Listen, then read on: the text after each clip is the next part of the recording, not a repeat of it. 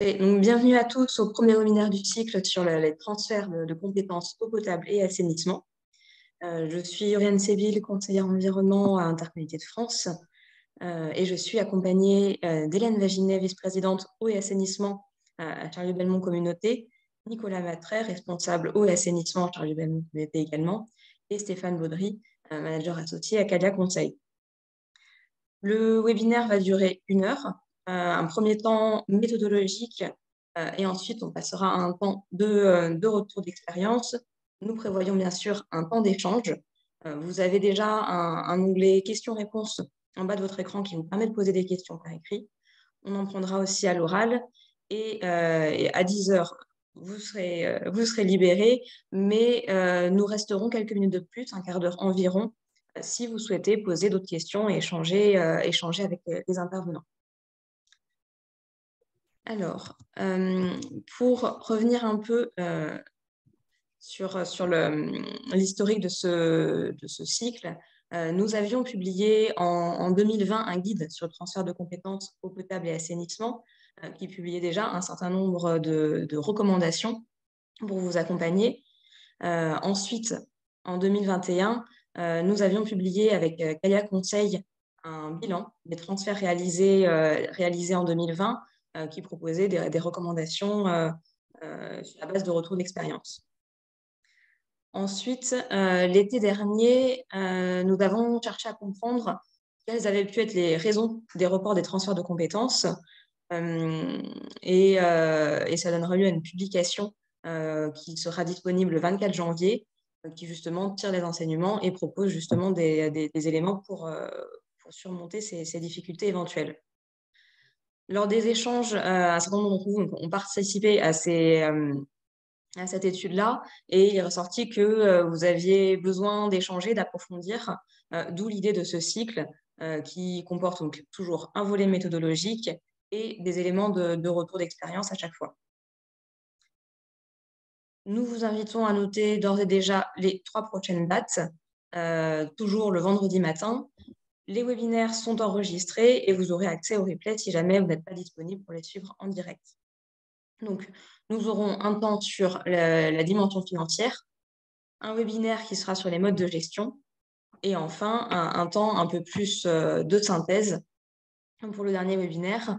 Euh, et toutes les questions que vous pourrez poser euh, lors des webinaires et bien sûr entre les deux, n'hésitez pas à nous contacter aussi si d'autres questions n'auraient pas été adressées. Euh, pourront, justement être abordés lors de ce dernier webinaire de, synthèse. Avant de passer la parole à Stéphane, je souhaitais juste vous partager euh, deux cartes et deux chiffres euh, sur l'état des lieux actuels qui exercent la compétence eau potable. désormais, nous sommes à 48% d'intercommunalités qui exercent déjà cette compétence. Et sur l'assainissement collectif, nous atteignons 56%. Donc, c'est un mouvement euh, en cours, euh, mais euh, en effet, un, besoin encore important de, vous accompagner pour tous ceux qui sont, qui plein dans la démarche ou qui vont s'y lancer. Alors, je vais laisser la parole à Stéphane. Je vais laisser partager. Juste avant, je vais lancer un sondage euh, alors, normalement, vous avez, si vous êtes sur l'application Zoom, euh, vous avez une question qui est apparue à l'écran euh, pour comprendre, pour nous aider à, comprendre quel est l'état d'avancement pour le transfert. N'hésitez pas à y répondre. Cela nous sera utile également pour ajuster tout au long des, sessions ce qu'on pourra, comment pourra, on pourra répondre à vos questions. Stéphane, je te laisse la parole. Oui, bonjour à tous. Euh, alors, je vais à mon tour partager le euh, document que j'ai préparé pour euh, vous exposer ces éléments méthodologiques. Oriane, peux-tu me confirmer que le document est bien partagé avec tout le monde? Alors là, nous ne le voyons pas à l'écran. Nous ne voyons pas l'écran. Alors, j'ai visiblement un petit problème de connexion, excusez-moi. Euh, j'étais euh, tout à l'heure.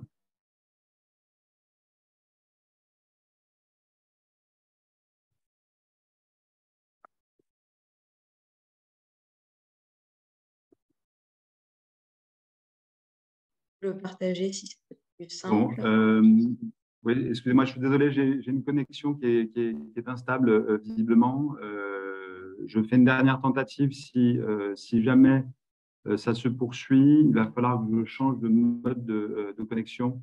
Et, et, auquel cas, peut-être qu'on inversera les, les, ordres de présentation euh, voilà, désolé pour, euh, pour ce, petit, euh, ce petit aléa.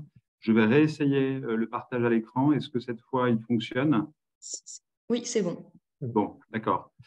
Donc moi, je vais vous apporter des, éléments méthodologiques alors, sur, le sujet spécifique de la, de la gouvernance, c'est-à-dire la, la, manière d'organiser, de conduire ces, réflexions de transfert. alors, pourquoi c'est important ce sujet de la gouvernance euh, Parce que le, processus euh, de, transfert de compétences est un, est un processus euh, souvent douloureux, alors qu'on associe parfois à, la courbe de deuil que l'on exposera tout à l'heure. Et on a, on a un récit intéressant de, de M. Matret de la manière dont la, communauté de communes eh bien, a vécu le processus. Euh, et il faut absolument que l'exercice de, projection euh, et d'appropriation euh, des services d'eau et d'assainissement se fasse dans un mode, dans un mode collaboratif pour lever tout un tas de tout un tas d'obstacles et avec une phase d'état des lieux qui est absolument fondamentale pour pouvoir faire l'appropriation de ce que sont la réalité de ces services d'eau d'assainissement. Euh, la, courbe de deuil euh, euh, que j'évoque, c'est celle-ci, alors que vous reverrez tout à l'heure en fin de présentation au travers de, du retour d'expérience de la communauté de communes, et qui illustre en fait quatre temps, quatre temps forts qu'il faut absolument avoir en tête. Le premier, c'est le moment de la sidération. Alors celui-ci est, un peu passé puisque maintenant la loi NOTRe est, loin derrière nous, mais enfin il y a eu un, euh, c'est à l'intérieur de, de, ce, euh, de, ce, de, ce, cette étape euh, que peuvent éventuellement se tenir eh bien des, alors des, actions d'information concernant l'état de la réglementation, mais également, pourquoi pas, des, actions de parlementaires pour pouvoir eh bien, faire infléchir faire infléchir la, réglementation. On, pense aux précédentes lois euh, loi Ferrand-Fesneau, euh, etc. Euh, il y a une période, une deuxième période qui est une, période eh bien, alors de, guide ou d'appropriation du sujet, qui est le, moment où on prend conscience, du, du, chantier en quelque sorte et, de la réalité de ce que sont ces services et, des perspectives que provoque le, transfert de compétences. Euh, ensuite, il y a une phase, euh, je euh, plus dynamique, plus positive, qui est la phase de construction du projet communautaire. C'est le moment où on va réfléchir au projet de service et où on va réfléchir à, la, la, feuille de route et à la manière dont la, compétence va pouvoir être transférée avant que la la décision soit effectivement prise. Et puis enfin, la, phase, euh, d'action, la, phase de, mise en œuvre quand euh, euh, la, la, décision est une fois quand la décision est prise. voilà pour ce qui est de, ces cycles qui sont assez intangibles hein, et, que l'on rencontre systématiquement lorsqu'il y a ce, ce, processus de, prise de, compétences qui est, qui est vécu par les communautés de communes notamment comme, comme quelque chose de tout à fait subi et pas forcément euh, pas forcément voulu. Euh, alors, pour entrer dans le sujet de la, gouvernance euh, à proprement parler, d'abord, qu'est-ce qu'on veut dire par gouvernance? Ben, C'est l'ensemble des règles et des mesures que vous allez déterminer, que vous allez fixer pour assurer le, bon fonctionnement et, le, contrôle du, processus de transfert de compétences. et pour parler de cette gouvernance, en, fait, on peut se focaliser sur trois sujets euh, que sont euh, l'organisation des instances de travail et décisionnelles, euh, l'organisation de la prise de décision et l'organisation de l'acquisition des, connaissances.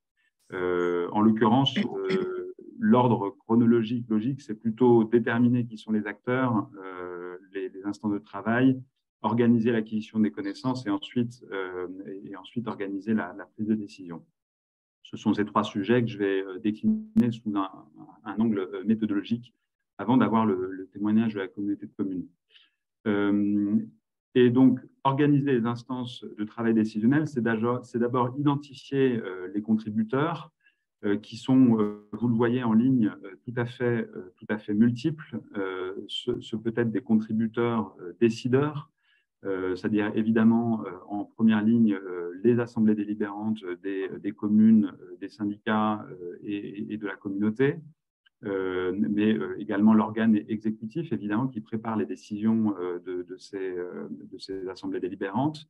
ce sont les maires et présidents de syndicats qui ont la particularité d'être à la fois les décideurs, mais aussi les sachants, c'est-à-dire ceux qui connaissent leurs services. et donc, ce sont des personnes tout à fait, tout à fait centrales dans le, dans le dispositif. Euh, alors, vous voyez qu'en colonne, hein, euh, j'ai caractérisé euh, quels étaient les, principaux rôles rencontrés. et puis, vous avez un autre rôle qui est celui, celui de coordonnateur, alors qui peut être, selon les circonstances, éventuellement incarné par, par un élu, par un président, un vice-président, mais aussi et surtout euh, la, plupart du temps par un, chef de projet au sein de la communauté de communes qui va avoir la charge de mettre en musique euh, l'ensemble des, euh, des, contributions. et avec, dans les secteurs, dans les territoires ruraux, un rôle particulier parfois tenu par les, secrétaires de mairie qui sont gérés à la fois au, four et, au moulin. On a ensuite, je parlais tout à l'heure des, sachants, ça, c'est un point extrêmement important. Alors, les sachants, euh, ce sont ceux qui connaissent euh, le service, ceux qui euh, sont détenteurs d'un savoir concernant les services publics d'eau d'assainissement. Ceux-là sont assez multiples potentiellement. J'ai parlé tout à l'heure de certains élus qui étaient à la fois parfois bénéfiques de leur service public, euh, deux conseillers municipaux euh, qui, euh, qui sont des, experts dans leur domaine, et, ça c'est important, ils ne sont pas forcément représentés au sein des instances assemblées délibérantes des, syndicats ou de la communauté, mais pour autant il faut les associer. il faut les associer directement parce que ce sont eux qui, connaissent le, le, service public et la technique. ce peut être les opérateurs privés quand on est en délégation de service public ou en prestation de service. Euh, ce sont évidemment les agents euh, quand euh, on est, on est en régie. La, connaissance peut être également celle de, partenaires publics, des collectivités. C'est le, cas de l'agence de l'eau, c'est le cas des SAPES quand il y en a dans les départements, de l'ARS la, de évidemment. voilà. Et puis, on, a, on a en plus de ça alors des experts qui peuvent être multiples, euh, c'est-à-dire ceux qui ont un, savoir euh, géré sur un sujet particulier. Euh, ces expertises vont être portées par des agents territoriaux, par, les agences de l'eau notamment, qui, je vous le rappelle, sont assez prescripteurs en, termes de, de méthodes et, notamment fournissent des cahiers des charges, mais financent également les études de compétences. Et puis évidemment, l'assistant à maîtrise d'ouvrage ou le conseil qui finalement apporte quoi? Il apporte, euh, il apporte du temps disponible, évidemment, de la méthode et puis euh, son expérience d'autres cas similaires. C'est le, fameux, le fameux parangonnage. Voilà, donc, étape importante, identifier tous les contributeurs, savoir quels vont être leurs rôles et de manière à pouvoir ensuite eh bien, les, les, organiser, les rassembler au, sein d'instances de, de, travail, d'instances décisionnelles qui peuvent être euh, assez multiples. on, verra une illustration tout à fait intéressante tout à l'heure de ce qu'a fait la, communauté de communes. Euh, donc, ce peut être des comités de suivi, euh, des comités, des comités techniques, donc là, de, travail et, préparatoires aux comités de pilotage qui sont les, instances d'arbitrage et, et, préparatoires aux décisions qui, sont prises. Voilà pour le premier, le premier temps de, cette, de cette gouvernance. Euh, le, deuxième temps, euh, c'est euh, réfléchir à, l'acquisition de la, connaissance, à la manière dont la, connaissance qui passe à l'échelle communautaire, alors qu'elle était communal ou syndical va pouvoir se faire, sachant que ce temps-là est un temps, alors est un temps long, qui, qui, peut durer plusieurs mois, voire, voire une année ou plus. C'est un temps essentiel qui est un temps collaboratif, donc qui est tout à fait central pour l'enjeu de, concertation. C'est le moment où on fait passer les messages forts euh, auprès des, élus. Euh, alors, on reviendra sur ces messages tout au long euh, des, webinaires qu'évoquait Oriane tout à l'heure, mais c'est la nécessité évidemment d'une coopération à, tout moment du processus. C'est le fait de dire que la prise de compétences, c'est la, solidarité. C'est le fait de dire que euh, la prise de compétences, euh, ce n'est pas un schéma euh, binaire et, caricatural et qui permet de, réfléchir à la subsidiarité, qui est rendu possible aujourd'hui par l'évolution de la loi et, qui permet de, finalement d'organiser l'exercice de la compétence au, niveau communautaire et infracommunautaire en fonction des réalités du service public. Enfin, voilà tout un tas de messages importants qu'on véhicule euh, à l'occasion de cette, euh, cette, phase, initiale. Euh, et cette, phase d'entretien préalable, elle doit permettre eh bien, de, rassembler et formaliser la connaissance en, regroupant les, sachants. voilà, sachant qu'on a trois, trois enjeux cruciaux, hein, c'est évidemment mobiliser les bonnes personnes pour cette prise de connaissance, euh, anticiper euh, l'acquisition euh, du savoir, savoir comment ce savoir va être, formalisé, et ensuite savoir le, restituer. Alors, je vais décliner un petit peu ces trois, ces trois idées. Mobiliser les bonnes personnes, c'est savoir qui va faire cette série d'entretiens préalables. Est-ce que ce sont des personnes extérieures? Qu'on va aller chercher pour leur neutralité de l'expérience est-ce que c'est l'exécutif euh, pour euh, sa vision stratégique, ses messages, euh, ou est-ce que c'est un chargé de mission interne pour gérer une mise en confiance et pour une projection immédiate dans l'acquisition de la connaissance communautaire? Ensuite, anticiper la, consolidation du savoir, c'est-à-dire s'assurer de la pérennité de la connaissance, c'est s'assurer que tout entretien fera l'objet d'un compte rendu, euh, c'est euh, organiser le process de récupération des données et des documents euh, par un dispositif de, numérisation en réfléchissant au format. C'est éventuellement par l'acquisition d'outils informatiques par, par la communauté comme un, système d'information géographique. Et puis enfin, on a un moment crucial qui est la, restitution, restitution du savoir, de cette connaissance qui a été acquise euh, qui est un moment indispensable, hein, euh, la plupart du temps en phase, d'état des lieux, pour euh, présenter la, connaissance, l'état des lieux aux communes et aux syndicats pour validation, parce que c'est cette validation qui va être le fondement des travaux futurs. Et, c'est tout à fait crucial pour la, mise en confiance des analyses et des projections qui seront établies par, par la suite. voilà, alors sachant que la, la, prise de connaissance, elle peut elle peut passer, euh, outre ces entretiens, par évidemment une visite exhaustive des installations, euh, mais également, et ça c'est le must, je dirais, mais aussi le, plus coûteux, donc ça c'est une réflexion à avoir. Euh,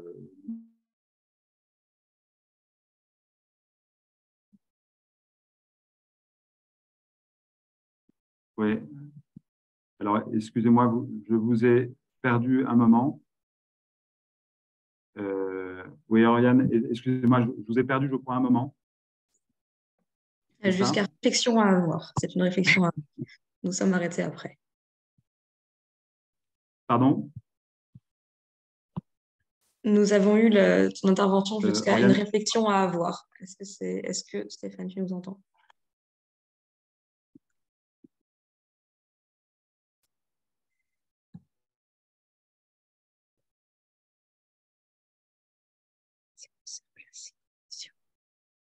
Bon, vraiment, euh, vraiment désolé. Oriane, je suis revenu. J'espère que ça va plus, euh, ça va plus se produire. Euh, tu m'entends à nouveau C'est bon, c'est bon. Oui, nous t'entendons à nouveau, c'est bon. Bon. donc, je, poursuis le, partage. et donc, je, je, parlais du schéma directeur qui pouvait être un must dans cette phase de prise de connaissance un must parce que c'est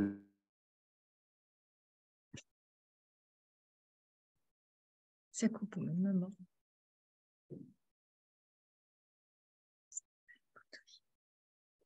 Bon, vraiment désolé. Je continue. Euh, euh, donc là, vous voyez quelque chose à l'écran? C'est bon. Oui, c'est bon, c'est revenu. Oui. D'accord. Et donc, je suis sur, euh, sur quelle page? Excusez-moi. Pas la bonne. Les, enjeux. Les enjeux. Les enjeux, d'accord. Donc, j'ai. OK. Donc, j'en étais là, je crois. voilà. Euh, donc, je parlais du schéma directeur, on va y arriver, euh, qui peut être réalisé euh, en, phase, en phase d'état des lieux et ce qui permet d'avoir une, les, éléments les plus complets pour construire une stratégie opérationnelle, technique, fine à l'échelle communautaire. Dernier point de la présentation, et, on, va, faire en sorte que, je n'y peux rien, mais ça, ça ne s'interrompt pas. Euh, la, prise de décision, organiser la prise de décision, ça c'est le dernier élément euh, de l'organisation euh, de cette gouvernance. Cette prise de décision pouvant finalement s'organiser durant trois temps différents pendant l'étude préalable à la prise de compétence, au moment du transfert et la prise de compétence et après le transfert. Alors de quoi je veux parler en disant ça? Avant la prise de compétence, alors outre euh, les décisions, euh, l'organisation euh, de l'étude et de la réflexion dont je viens de parler avec l'état des lieux, il est important que eh bien, le, PCI et, les communes ou les syndicats puissent déjà coopérer concernant les, sujets relatifs à l'organisation des services d'assainissement. Notamment s'il y a des décisions importantes à prendre en matière de, choix de mode de gestion, de durée de contrat ou de financement de services parce qu'évidemment, on est en train de préparer l'héritage euh, qui, va, euh, qui va être euh, reçu par, par la communauté. Pendant la prise de compétence, évidemment, la, coordination de cette prise de décision va permettre de définir les niveaux de services communautaires, le niveau de subsidiarité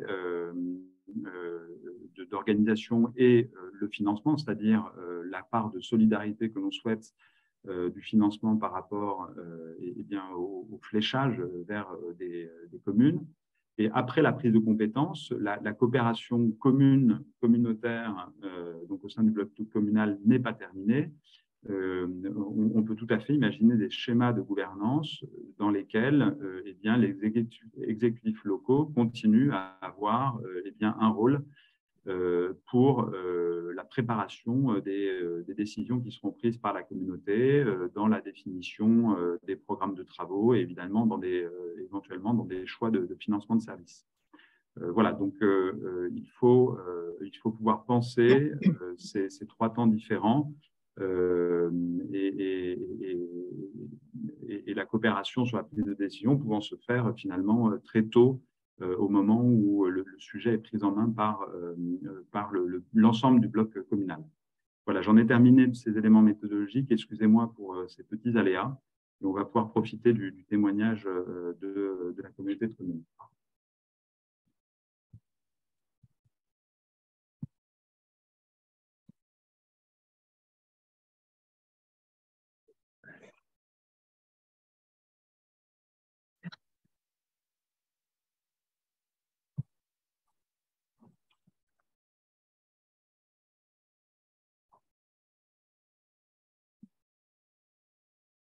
C'est bon, on voit notre, euh, notre écran là?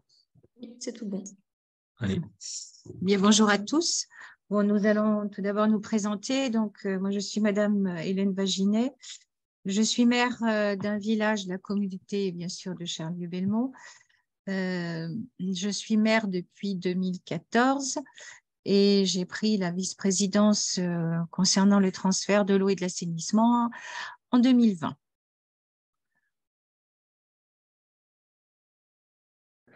Oui, alors moi c'est Nicolas Matret, euh, je suis technicien au assainissement pour la communes Charles-Belmont, euh, recruté initialement pour euh, la création du service public d'assainissement non collectif, et, le traitement et la valorisation des bourgs, qui sont aujourd'hui les deux compétences détenues par la côté de commune en matière d'eau et d'assainissement. Alors, une brève présentation de notre collectivité. Charlie-Belmont Communauté a, disons, 25 communes sur le territoire. Il y a, ça correspond à 25 000 habitants. nous avons une ville-centre qui est Charlieu, qui a environ 3700 habitants. Euh, auparavant, il y avait deux communautés de communes. Il y, avait, Belmont Communauté avec 10 communes et Charlieu, Communauté avec 25, 15 euh, communes. Et la fusion s'est faite des EPCI en 2013. En 2013, donc, euh, Charlieu-Belmont Communauté prend les compétences, tout d'abord du SPANC, et ensuite du traitement et valorisation des Voilà donc pour cette présentation de notre communauté de communes. Elle se situe euh, au nord-est du département et nous avons donc des communes euh, qui sont limitrophes avec le Rhône et d'autres avec la Saône-et-Loire. Nous sommes vraiment à l'extrême nord-est du département une petite précision. Donc, nous sommes à peu près à une heure de, Lyon et une heure de, Saint-Étienne. Voilà pour la présentation géographique. Merci. Donc, je poursuis sur le, sujet à proprement dit des, transferts de compétences. Donc, euh, en 2015, à l'apparition de, la loi NOTRe, euh, une des choses qui euh, nous a fait nous pencher rapidement sur la question, c'était notamment suite au mode de gestion de la compétence eau potable puisque vous voyez sur cette carte qu'on a une grande diversité de modes de gestion à l'échelle du territoire, puisque en jaune, vous avez euh, les communes qui exercent la compétence eau potable en régie, en rouge, celles qui l'exercent euh, de manière individuelle, mais avec un contrat de délégation de service public. Euh, et puis quelques collectivités, alors celle en rose au nord et celle en vert au sud, qui adhèrent à un syndicat euh, d'eau potable euh, qui est à cheval sur plusieurs intercommunalités. Et puis un dernier syndicat, celui qui est en bleu, qui lui est intégralement pardon, compris dans le territoire intercommunal. Donc une complexité, enfin une diversité des modes de gestion qui nous a fait nous pencher sur la question, puisqu'on s'est dit que ça allait être être compliqué avec des dates de fin de contrat qui étaient divergentes évidemment à, l'échelle du territoire et des différences de mode de gestion qui, qui l'étaient tout autant. Euh, pour l'assainissement, c'est un petit peu différent puisque vous voyez sur cette euh, même carte du territoire que 20 et 22 des 25 communes on possèdent la compétence en régie et seulement 3 possèdent cette compétence avec une délégation de service public. Euh, qu'on verra par la suite, qui s'est transformé en, contrat de prestation de service.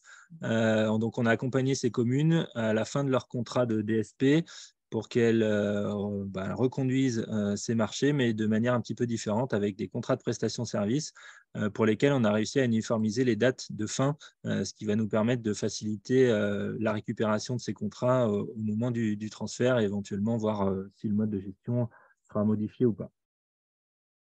Alors, euh, pour faire un petit historique, euh, bien comme tout le monde, euh, le 7 août 2015, on a cette loi NOTRe qui, par laquelle on découvre que l'intercommunauté devra récupérer la gestion de l'eau potable et de l'assainissement sur son territoire, et ce d'ici au 1er janvier 2020. Donc, les élus souhaitent rapidement s'approprier du sujet et créer un groupe de travail euh, spécifique au transfert euh, de l'eau et de l'assainissement. Un groupe de travail qui, on le verra plus tard, va se transformer en comité consultatif, euh, puisque ce groupe de travail initial n'était composé que de quelques maires et de quelques techniciens du territoire. et la volonté, quelques années plus tard, sera vraiment de créer un comité consultatif qui sera représenté par chacune des communes avec un représentant titulaire, un représentant suppléant, on y reviendra tout à l'heure. Euh, dès 2016, euh, on commence à travailler sur le sujet de manière plus précise et on s'aperçoit de la quantité de travail à fournir, euh, notamment voilà, cette étude préalable au transfert et toutes les données dont on a besoin pour établir la base solide au transfert, la récupération de ces données qui nous paraît être un travail indispensable mais, mais aussi très, très important Donc, il est rapidement décidé de s'adjoindre l'accompagnement d'un bureau d'études extérieur, un AMO, dès le printemps 2016. bureau d'études qui sera recruté à l'été et qui va consacrer près de un peu plus d'un an à l'étude de transfert, la phase état des lieux, donc la phase 1, pour un, rendu de la phase 1 dans le, dans le courant de l'année 2017. Dès le premier semestre 2018, on passe à la phase 2 qu'on déterra un petit peu plus tard, mais qui euh, permet de jauger du niveau de service que l'on souhaite atteindre au niveau intercommunal et euh, de faire ce rendu euh, de phase 2 en juillet 2018 moment auquel euh, les élus communaux euh, qui gèrent les compétences d'eau et d'assainissement se voient confrontés euh, aux divergences de niveau de service qui existent entre eux et aux efforts qu'ils ont à fournir pour atteindre un niveau de service homogène à l'échelle intercommunale. tout de suite derrière, une chance ou une aubaine, je ne sais pas, mais en tout cas, les pagnettes étaient alignées à ce moment-là et la loi Ferrand-Fesneau euh, vient assouplir un petit peu tout ça et permet, avec une minorité de blocage, de repousser le transfert de compétences euh, au 1er janvier 2026, donc laisser euh, une période de, travail de six ans supplémentaires. Et c'est bien cette période de travail qui est mise en exergue et non pas voilà, une, période dans laquelle on, va repousser l'échéance, mais plutôt une, période pendant laquelle on va mettre à profit le temps qui nous est offert par cette loi Ferrand-Fesneau pour travailler à l'homogénéisation euh, des, euh, des, transferts de des niveaux de service pardon, euh, pour faciliter le transfert. Et le leitmotiv du, président à l'époque de l'apparition de la loi Ferro, de la loi Ferrand-Fesneau, c'était de, rappeler qu'il sera beaucoup plus facile de rassembler des services qui se ressemblent et de mettre à profit les six ans qui nous ont été offerts par la loi Ferrand-Fesneau pour harmoniser les pratiques et harmoniser les niveaux de service au sein de chaque service d'eau et d'assainissement communaux. Donc, je l'ai repris euh, sous forme de, de rétro-planning un petit peu plus graphique pour ceux qui ont une, mémoire un peu plus visuelle. Euh, je ne vais pas revenir sur toutes les, échéances, mais ça, c'était le rétro-planning qu'on s'était fixé euh, dès le départ, dès 2015-2016. ce qu'il faut retenir de là, c'est que sur, ben, il faut compter une bonne année, voire un peu plus pour la partie études de transfert. Six mois après, pour définir les objectifs euh, d'atteinte euh, d'homogénéisation des, différents services. Et puis, on avait prévu euh, six mois pour l'élaboration des scénarios post pré-transfert pour que les élus puissent se positionner sur des questions plus politiques au niveau transfert. Cette phase, évidemment, n'a pas encore eu lieu puisque, je vous le disais, la loi Ferrand-Fesneau nous a donné un petit peu de, un petit peu de, l'Est, un petit peu d'air pour, pour continuer à travailler sur, euh, sur la, thématique. Donc finalement, le rétro-planning tel qu'il est aujourd'hui, euh, il est comme celui-ci. Donc, euh, je vous le disais, 2016, les premières réflexions sur le transfert, la notification de l'AMO mi-2017, et puis le rendu de sa première phase en janvier 2018. Les six mois qui ont suivi ont permis de travailler sur l'élaboration de, des scénarios, enfin de l'objectif type euh, pour l'atteinte du, bon, euh, du bon transfert. Et puis, la loi Ferrand-Fesneau est venue un petit peu rebalayer les cartes. Donc, le choix qui a été fait, c'est d'utiliser la minorité de blocage. Chaque collectivité a utilisé sa minorité de blocage pour bien montrer, encore une fois, la cohérence du territoire et la volonté de chacun de rentrer dans une démarche euh, cohérente. Et puis, à ça, et c'est peut-être la particularité de notre territoire, c'est que pour euh, atteindre un objectif cible commun, il a été décidé, euh, et pour forcer tout le monde à travailler jusqu'au transfert de compétences de 2026, il a été décidé de rédiger et que chaque euh, collectivité ratifie une charte, charte dans laquelle on a mis euh, des objectifs en matière d'eau, en matière d'assainissement et sur toutes les thématiques, aussi bien techniques qu'administratives, que humaines, que financières, des objectifs que chaque commune s'est engagée à atteindre d'ici au 1er janvier 2026, encore toujours dans cet esprit de vouloir homogénéiser la gestion des services pour euh, faciliter le transfert, puisque, encore une fois, il sera plus facile de transférer des choses qui se ressemblent euh, plutôt que des choses disparates. Du coup, d'ici au 1er janvier 2026, la communauté de communes accompagne les différentes collectivités, les différents services dans l'atteinte de ces objectifs par différentes actions. On le verra un petit peu euh, plus tard dans la présentation, mais euh, il y a beaucoup d'actions qui ont été mises en place pour homogénéiser les pratiques et euh, la communauté de communes est moteur pour emmener tout le monde avec elle dans, cette, dans ce transfert de compétences, puisque finalement, on a pas forcément de légitimité en n'ayant pas la compétence ni eau potable ni assainissement. Euh, pourtant, c'est quelque chose qui va nous revenir d'ici 2026. Donc, euh, il nous paraissait important de pouvoir euh, accompagner ces communes dans l'atteinte de leurs objectifs. Évidemment, à la fin de cet accompagnement, notre travail, et c'est ce qu'on commence à faire désormais, c'est l'élaboration des choix du scénario de transfert, la préparation au transfert en elle-même avec des, des choses qui seront beaucoup plus pratico-pratique, on va dire, l'établissement du premier budget intercommunal, euh, la préparation des transferts de personnel, euh, la préparation des services techniques, etc. etc. Évidemment, comme euh, toutes les collectivités qui seront concernées, les délibérations nécessaires pour le transfert et le transfert qui aura lieu au plus tard au 1er janvier 2026 on se laisse la possibilité éventuellement d'avancer un petit peu cette date si on est prêt, si on a suffisamment bien travaillé sur l'atteinte des objectifs et qu'on a des, services qui sont suffisamment harmonieux. 2026 étant une année euh, électorale avec un renouvellement des conseils municipaux, donc on se dit que c'est peut-être pas forcément la bonne année pour euh, transférer des compétences euh, aussi complexes et perdre les nouveaux élus qui, qui arriveront en, ce moment. Alors, au niveau de l'organisation, de, la gouvernance, M. Baudry parlait tout à l'heure d'une organisation décisionnelle et d'une organisation de décision, une organisation de décision et des instances, pardon. Alors, les instances, comme je vous le disais, à la base, c'est un groupe de travail composé de quelques élus et de quelques techniciens qui a été créé. Puis, rapidement, c'est un comité consultatif d'eau et d'assainissement qui gère ces questions d'eau et d'assainissement, de transfert.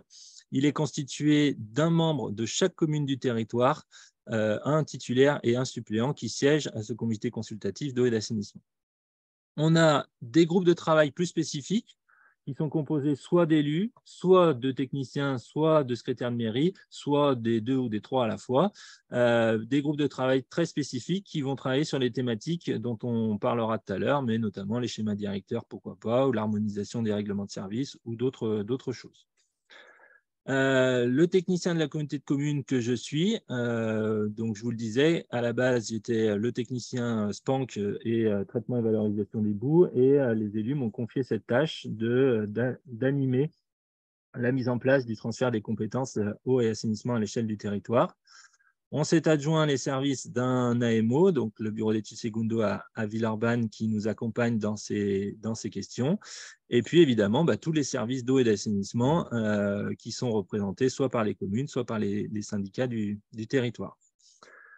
Donc le comité consultatif, il échange euh, avec les groupes de travail qui font euh, ces groupes de travail des retours au comité consultatif. donc on donne finalement des, tâches à réaliser dans ces différents groupes de travail.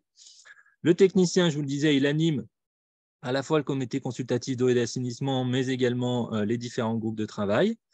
Il collabore étroitement avec le bureau d'études et les différents services d'eau et d'assainissement. Donc, euh, je suis euh, amené à intervenir à plusieurs reprises dans des projets très techniques, des gros investissements ou des questions pour l'atteinte des objectifs qui, ont été fixés dans la charte.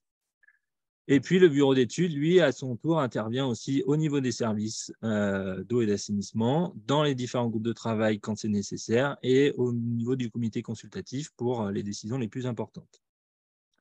Ce comité consultatif, il rend compte de son travail à l'Assemblée des maires, constituée des maires de chaque commune, euh, à la différence du comité consultatif eau et assainissement, c'est un représentant de la commune, mais qui n'est pas forcément le maire, mais qui est, comme on le disait tout à l'heure, le sachant euh, dans le domaine de l'eau ou dans le domaine de l'assainissement, quelqu'un qui euh, prend à bras le corps les questions d'eau et d'assainissement de sa commune. Cette assemblée des maires fait des retours au conseil communautaire pour notamment certaines validations de documents et passages en, délibération. Et ce conseil communautaire peut également donner un petit peu de travail au comité consultatif ou au moins des orientations sur les choses sur lesquelles il veut qu'il travaille. Notamment, un des derniers conseils communautaires de l'année 2022, ça a été de confier au comité consultatif eau et assainissement de travailler sur l'harmonisation budgétaire au niveau intercommunal. Euh, tout ce travail et tous ces efforts, ils, sont, euh, ils font l'objet de retours réguliers au niveau des services de l'État, du département et de l'agence de l'eau et de l'ARS. Donc le département et de l'agence de l'eau parce que ce sont des financeurs au niveau de l'étude préalable au transfert. L'État, parce que l'État nous a autorisé à repousser un petit peu le transfert de la compétence assainissement notamment, puisqu'on avait déjà une partie de la compétence assainissement avec le traitement et la valorisation des boues. Donc, si on avait suivi les, textes au, sens strict du terme, on aurait dû transférer déjà la compétence assainissement, mais au vu de notre démarche, les services de l'État nous ont autorisé à, repousser un petit peu ça, avec euh, ben, en retour euh, la nécessité de, montrer notre avancement sur la problématique. Et puis l'ARS pour tout ce qui est des questions euh, d'eau potable, notamment les schémas directeurs d'eau potable qui sont effectués en étroite collaboration avec ces services. Alors, euh, la phase 1 euh, de notre étude préalable, et c'était sans surprise d'effectuer un état des lieux très précis des services euh, communaux d'eau et d'assainissement dans tout domaine, que ce soit technique, financier, patrimonial, humain, j'en passe et des meilleurs, administratif également, afin d'avoir une photographie très précise des niveaux de services actuels. Ça, tout le monde le sait plus ou moins. Notre méthodologie, euh, ça a été de rencontrer tous les services, euh, élus, techniciens, administratifs. Et cette rencontre, euh, on a fait le choix que ce soit le technicien de la communauté de communes qui rencontre toutes ces personnes-là euh, pour la partie RH, on va dire, pour euh, gagner en proximité, rassurer un petit peu les gens et euh, éviter, entre guillemets, les langues de bois. Et voilà, j'avais la chance, en tant que technicien SPANC, de connaître déjà assez bien les services, les agents sur le terrain, les secrétaires de mairie pour les rencontrer assez régulièrement dans le cas du SPANC. Et du coup, ça a permis de, faire cet état des lieux RH avec ben, détermination du nombre d'heures euh, consacré à la compétence au assainissement, les motivations euh, ou les craintes par rapport au transfert, etc. Tout ça a été récupéré euh, via un questionnaire qu'on avait élaboré et dont je me suis, dont j'ai effectué l'émission. Ensuite, on a décidé aussi de faire une visite de tous les ouvrages les plus importants, aussi bien en eau qu'en assainissement, les stations, les sources de captages, les stations de reminéralisation, les stations d'épuration, euh, et de compiler toutes ces données, euh, aussi bien techniques que budgétaires, administratives, dans une grosse base de données. Donc ce travail, il a été fait euh, de compilation par l'AMO, les visites ont été faites par l'AMO et j'ai accompagné l'AMO dans ces visites de manière là aussi, moi, à m'imprégner des problématiques de chacune des communes, savoir comment était gérée la, compétence, quels étaient les ouvrages, dans quel état ils se trouvaient pour prendre le plus d'infos possible. Euh, et en parallèle de ça, on avait confié, en plus de l'étude préalable au transfert, une mission complémentaire de cartographie avec la création d'un SIG intercommunal qui euh, recense tous les réseaux d'eau et d'assainissement du territoire, avec la création des synoptiques altimétriques, notamment pour la compétence eau potable, de manière à là aussi avoir une base de données cartographique, euh, puisqu'on s'est aperçu que sur la plupart des communes, on avait encore que le format papier, et nous, ça nous permettait d'avoir la vision très globale au niveau intercommunal. La phase 2, euh, c'était de définir les objectifs types, je vous le disais, donc le choix des objectifs de performance, euh, la qualité à atteindre pour avoir un bon service d'eau et d'assainissement intercommunal, euh, et là, il a fallu beaucoup de concertation, après avoir fait un état des lieux précis, beaucoup de concertation avec les différents services, beaucoup d'échanges, de retours, des présentations à, plusieurs reprises en Assemblée des maires, pour arriver à euh, un niveau de service euh, qu'on a défini comme, comme homogène et, cohérent. et qui a été présenté, je vous le rappelle, en, juillet 2018. Et voilà, c'est là qu'il a fallu se confronter à la somme de travail qu'il y avait à faire pour atteindre un objectif type qu'on s'était fixé ambitieux dans un premier temps, qui a été un petit peu revu à la baisse, mais malgré ça, il, a montré qu'il y, y, avait du pain sur la planche pour les différents services pour arriver à un système homogène. Tout ça, ça a été corrélé à une présentation de l'augmentation sur le prix de l'eau euh, pour atteindre ces objectifs, puisque évidemment, euh, le prix de l'eau doit correspondre au coût de l'eau. Et dès lors qu'on met des objectifs un peu plus importants que ceux qu'on avait, euh, le coût de l'eau devient plus important. Donc, pour compenser ce coût de l'eau, il était inévitable d'augmenter le prix de l'eau. Et on a souhaité, dans ce rapport, montrer l'impact que les services devraient appliquer sur leur prix de l'eau pour répondre aux objectifs qu'on avait fixés. Et c'est là que voilà, ça a été un petit peu dur à encaisser dans un premier temps. La phase 3, euh, donc, qui n'était pas celle initialement prévue, mais qu'on a modifiée avec l'arrivée de la loi Ferrand-Fénot, ça a été de rédiger cette charte dans laquelle on a fixé tous les objectifs qui avaient, euh, par consensus euh, au préalable, été déjà validés par les différents, par les différents maires. et puis, une fois que cette charte a été rédigée, ben, il a fallu la, la, mettre en œuvre et puis la suivre pour atteindre ces objectifs. Donc, on a organisé pas mal d'actions, d'études communes, des commandes groupées, euh, des outils génériques qui peuvent servir à tout le monde, euh, des euh, cahiers des charges types qui ont été offerts aux différents services pour lancer, par exemple, la mise à jour de leur schéma directeur. J'y reviendrai dans, une diapo un un peu plus loin. Euh, on a bénéficié euh, du maintien de l'accompagnement de l'AMO, donc, euh, qui devait nous faire la, phase 3 de l'étude, qu'on a finalement modifié cette phase 3 et on a demandé un accompagnement à l'AMO sur, plutôt que de faire un, choix des, des, scénarios de transfert, eh bien, c'est un accompagnement à l'atteinte des objectifs dans la charte. voilà, on suit régulièrement les objectifs des communes, donc on leur demande annuellement où ils en sont, même si euh, pour les suivre de, très près, on, sait déjà un petit peu où ils en sont, mais tout ça pour faire des bilans, encore une fois, au service de l'État euh, et dire où on en est euh, des avancements des questions de transfert.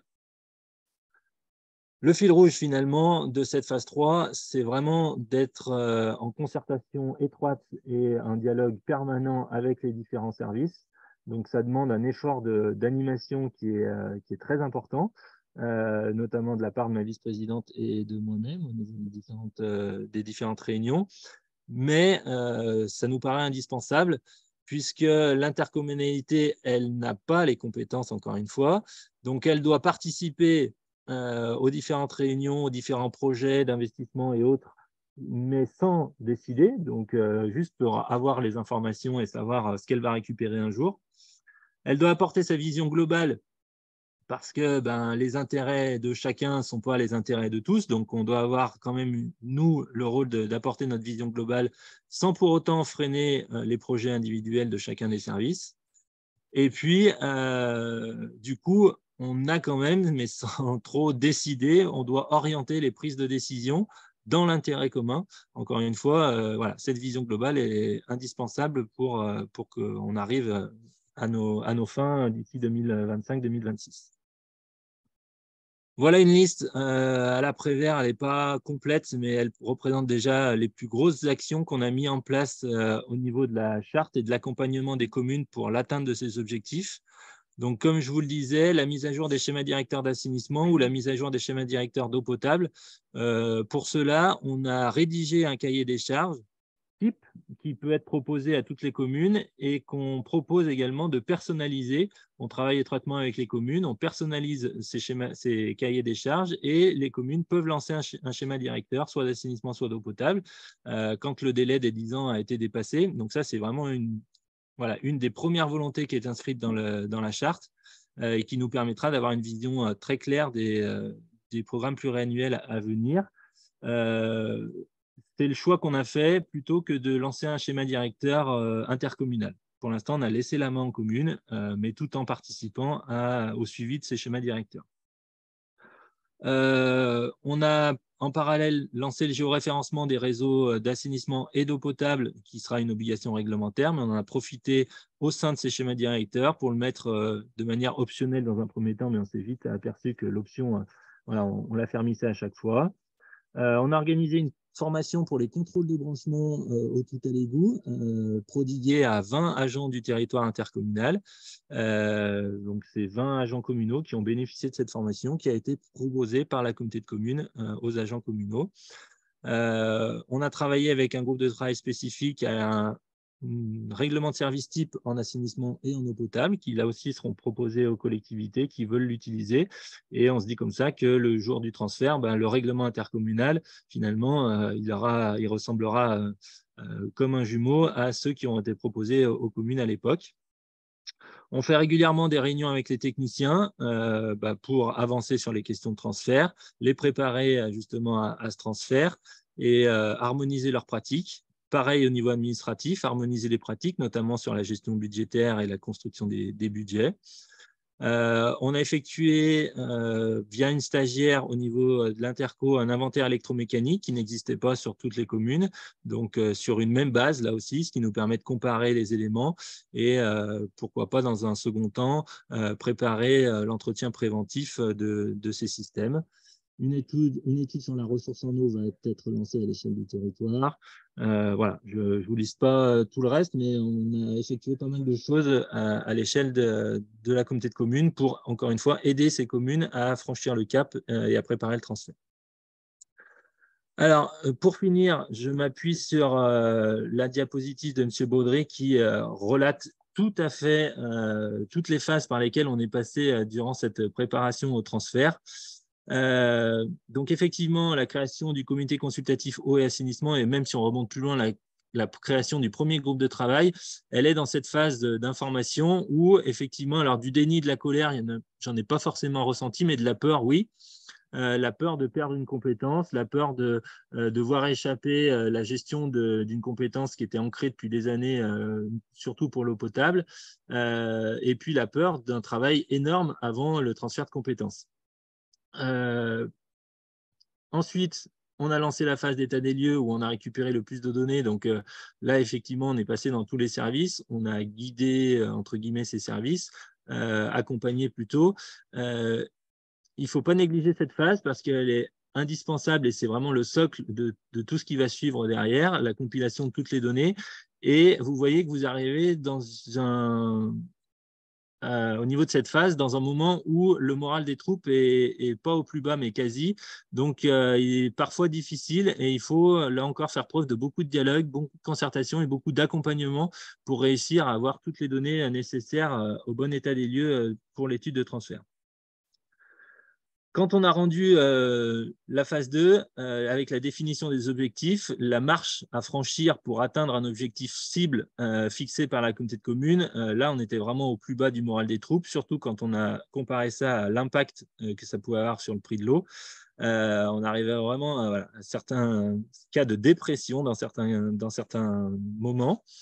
Euh, et puis, il y a eu cette phase euh, d'acceptation. Et puis, la loi Ferrand-Fesneau qui est venue nous aider quand même euh, à cette acceptation et qui nous a permis ensuite de nous lancer dans cette, dans cette rédaction et la signature de cette charte, toujours avec les mêmes objectifs qu'on avait définis en phase 2, mais du coup avec un petit peu plus de temps supplémentaire pour, pour y arriver.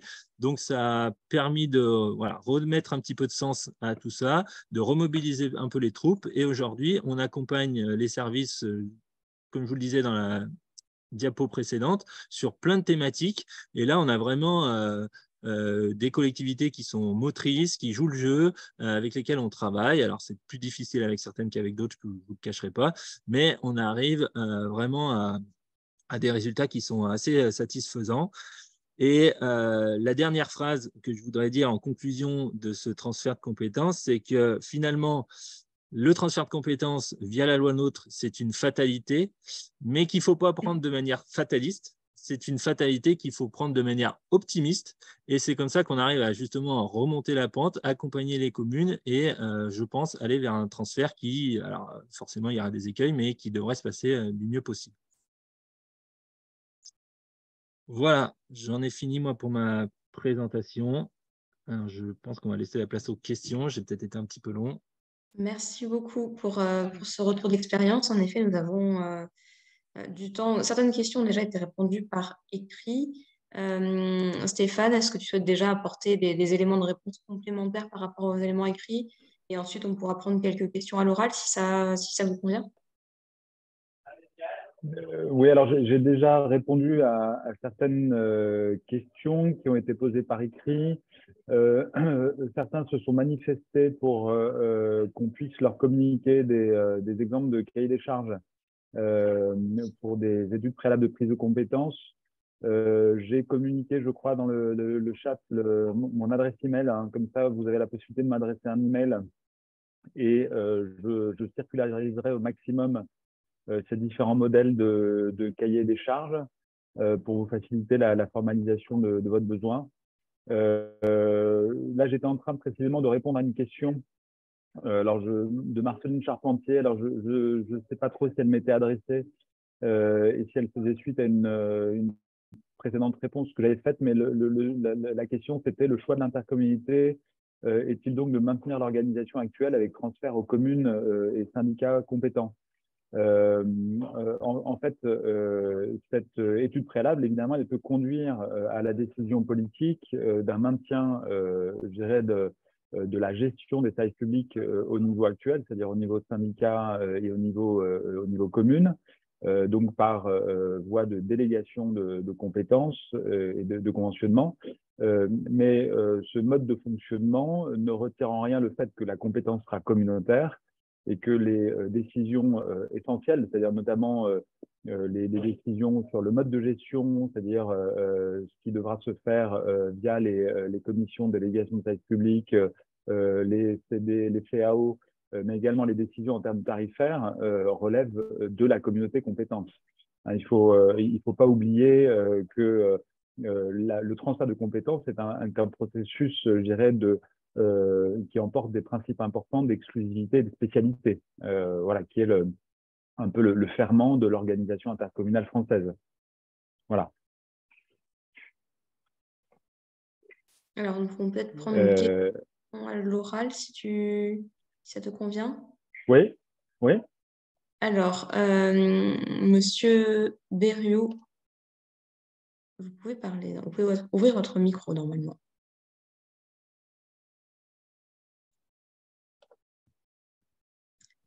Alors, est-ce que, Monsieur Berriot, est-ce que vous pouvez activer votre son pour poser votre question?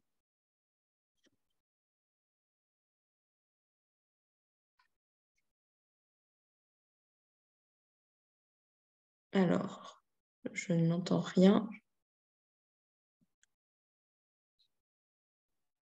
Alors, moi, je peux, Oriane, euh, en, attendant que la, personne, M. Berriot, là, euh, active son micro, moi, je, peux relayer une question. Euh, alors, je, me fais un petit peu l'animateur, mais c'est une question qui était plutôt posée à, Nicolas Matray. C'était comment avez-vous financé, question de Julien Chaban, comment avez-vous financé les actions de prise de compétences sans être compétent? Et je crois que la question a été posée une deuxième fois. tout ce travail préalable, votre mobilisation, votre temps passé à vous qui a été euh, très important, mais également le, financement, euh, euh, le financement de, de l'AMO. comment tout ça a été pris en charge? Alors, aujourd'hui, les financements sur les questions de transfert sont faits par le budget général de la communauté de communes. la partie de mon poste qui est consacrée à l'animation de ces questions est prise en charge par le budget général. Et on a la chance d'être accompagné euh, par l'Agence de l'eau en Bretagne sur ces questions d'animation. Alors, pour des études spécifiques, l'étude de préalable, elle a été euh, financée à la fois par l'Agence de l'eau et par le département de la Loire. Euh, et là, l'animation à la préparation au transfert est également financée par l'Agence de l'eau en Bretagne, donc typiquement mon poste, ou s'il y avait des études spécifiques, on pourrait les intégrer dans ces demandes de subvention auprès de l'agence. Alors, on va essayer une nouvelle fois. Monsieur Berriou, est-ce que vous pouvez euh, tenter de poser votre question?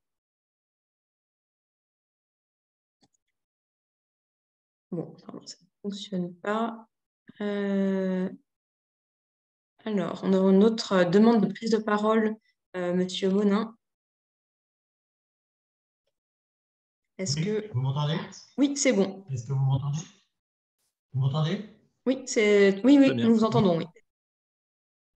Oui, bonjour Yves Monin, je suis maire et président d'un syndicat d'eau. nous avons une com de com de 71 communes. Donc, dans la présentation, je vois que mes collègues étaient bien sûr favorables à ce transfert. Aujourd'hui, tous les syndicats de notre com de com sont sur deux communautés de communes au minimum et tous mes collègues sont défavorables à, cette, à ce transfert. Alors expliquez-moi un peu comment tout cela va se passer puisque nous allons délibérer défavorablement dans nos différents syndicats pour ne pas adhérer à cette loi neutre et à cette compétence qui est transférée à l'EPCI.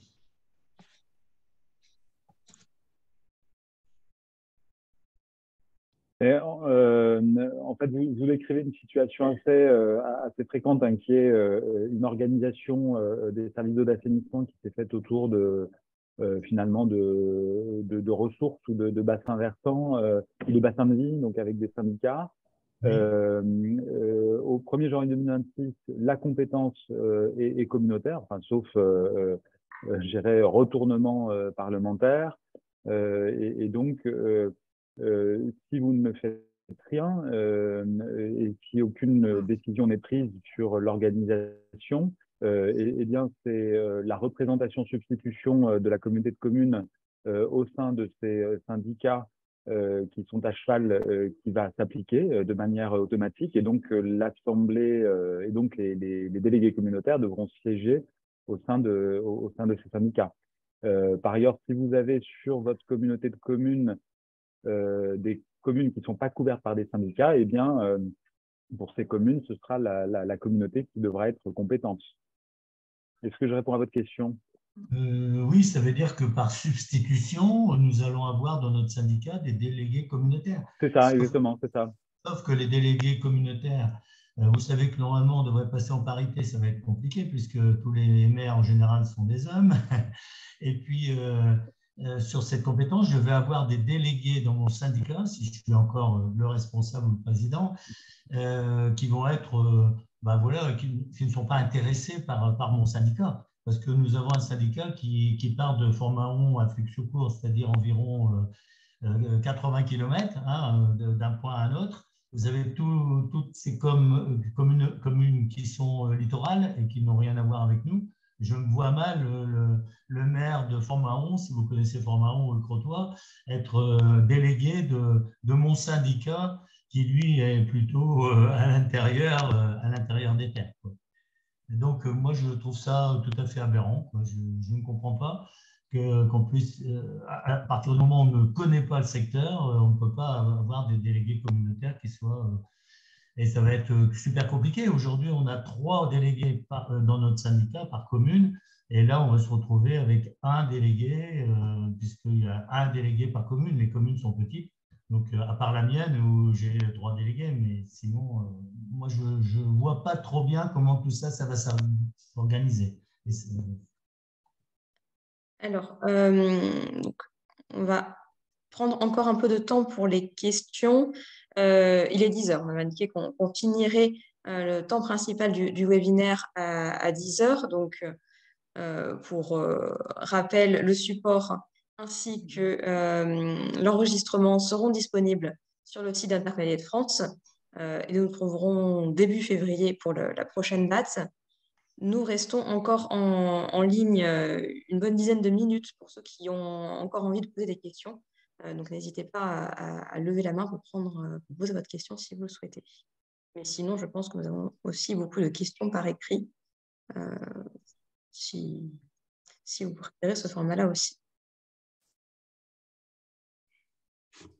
Alors, euh, Oriane, j'aimerais réagir à l'intervention euh, de, du, monsieur de la de l'élu de la, de la bête somme, euh, cette question de la, la représentativité euh, est, extrêmement sensible et, très fréquente évidemment.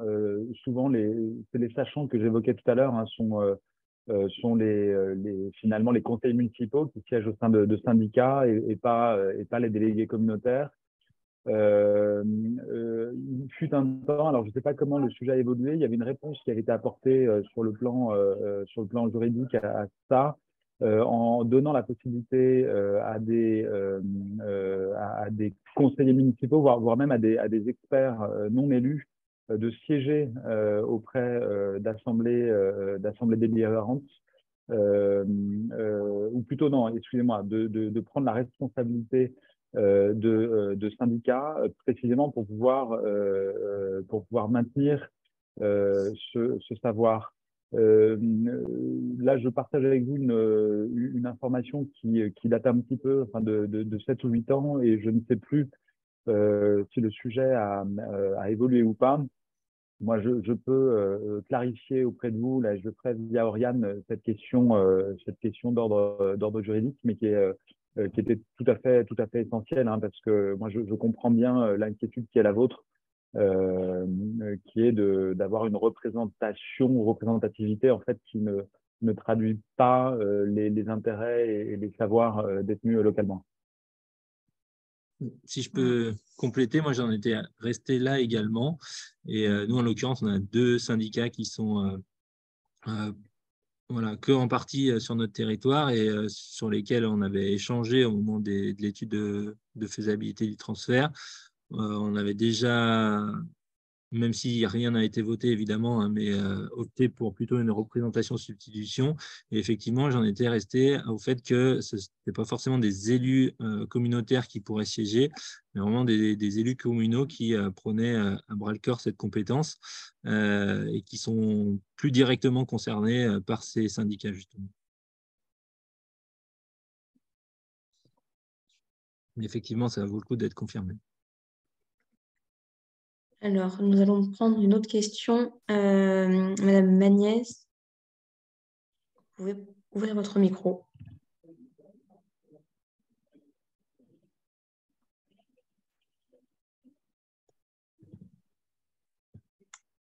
Ah, alors le micro ne s'ouvre pas.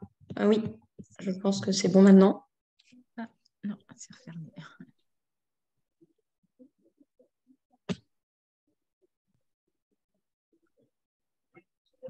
Votre micro est ouvert. Vous pouvez poser votre question.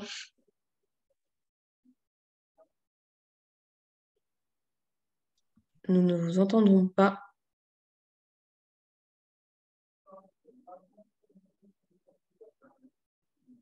Le ne doit pas être assez fort. Ah, je, pense que si. je pense que si, très légèrement. si vous pouvez euh, essayer de poser votre question.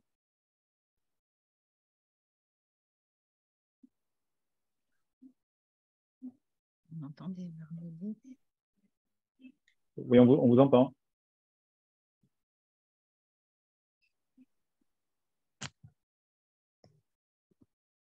Bon, en attendant, je vais passer la parole à quelqu'un d'autre. On, reviendra à votre question si vous pouvez. Euh, de son. Euh, alors, monsieur euh, Ambrosioni, vous avez levé la main également. Ouvrez votre micro. Oui, vous m'entendez? Oui, très bien.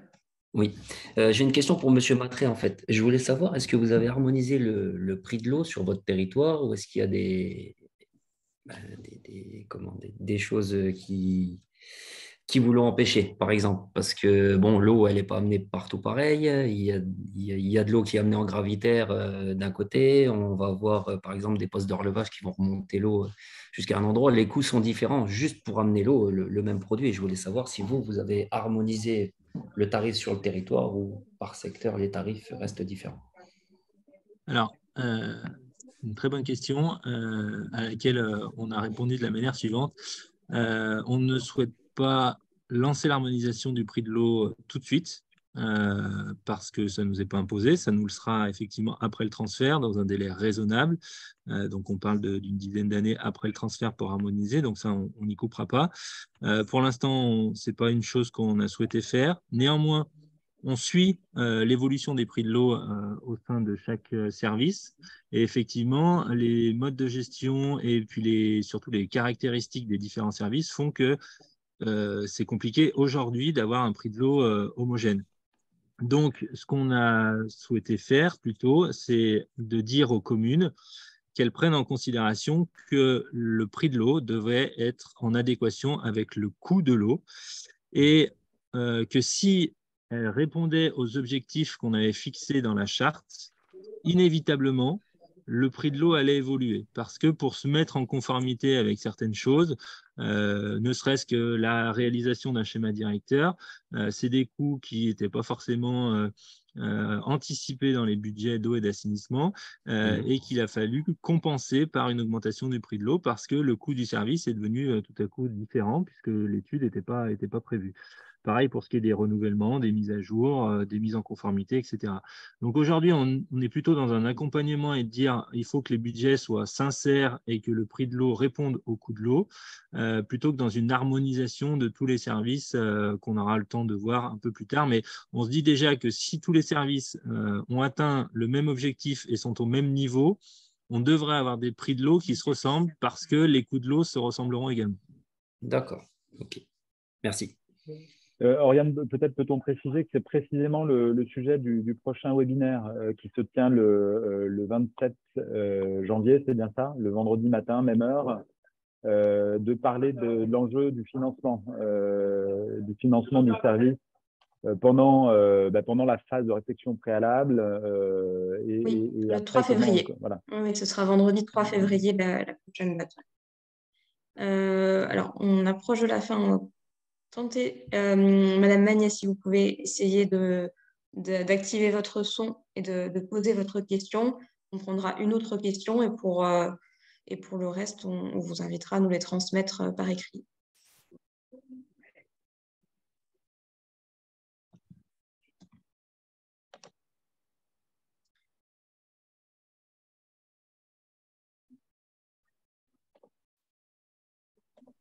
On va prendre euh, une autre prise de parole. Alors, euh, je prends dans l'ordre. Madame Bodato, vous pouvez euh, ouvrir votre micro. Oui, bonjour, je ne sais pas si vous m'entendez. Oui, c'est bon. Parfait. Euh, alors, ce n'est pas vraiment euh, une question, mais plutôt la réponse à une question juridique euh, sur la question de savoir qui siège dans les syndicats mixtes, du coup, quand on a cette représentation substitution. donc, je parle sous, le contrôle de, de Monsieur Baudry, mais en fait, ici, c'est donc un syndicat mixte fermé, puisqu'on a des EPCI à fiscalité propre qui seront membres de ce syndicat. Et on nous dit bien dans l'article 57 11-1 du CGCT que les euh, les EPCI, avec ou sans fiscalité propre, ils auront le choix en fait euh, de, choisir un conseiller communautaire ou un conseiller municipal d'une commune membre. Donc, on peut effectivement avoir euh, ce, que Monsieur Nicolas Matré évoquait tout à l'heure. On a bien ce double choix qui est permis pour assurer une proximité au sein de ces syndicats. Voilà. C'était tout pour euh, mon intervention. Merci à vous en tout cas de cette présentation extrêmement euh, enrichissante. Alors, euh, merci à tous pour être restés jusqu'au bout. Merci à nos intervenants. J'espère que ça a répondu à un certain nombre de, vos questions. Nous avons bien vu qu'il y en a encore beaucoup d'autres. un certain nombre de questions sur le financement notamment, donc, que nous aborderons lors de la prochaine séance. sur la séance suivante, nous parlerons des modes de gestion. Euh, donc, j'espère que euh, vous pouvez également y participer. Nous prendrons en compte, bien sûr, euh, toutes les questions qui ont été écrites. Et, donc, à bientôt. Juste, Ariane, si je peux, sur le mot de la fin, j'ai vu qu'il y avait trois questions redondantes sur le temps de travail que je consacrais au transfert des compétences. Alors, aujourd'hui, officiellement, dans le budget, je suis à un mi-temps sur les questions de transfert. Euh, plus le temps avance et euh, plus mi-temps euh, grandit. Et, aujourd'hui, en avance, en arrivant vers l'échéance, je crois que on peut, parler presque d'un temps plein pour une pourtant une petite collectivité comme la nôtre, mais si on veut vraiment faire de l'accompagnement auprès des communes et, mobiliser tout le monde, ça, prend énormément de temps. Merci pour ce complément. Et donc, bonne journée à tous. Merci beaucoup. Au revoir.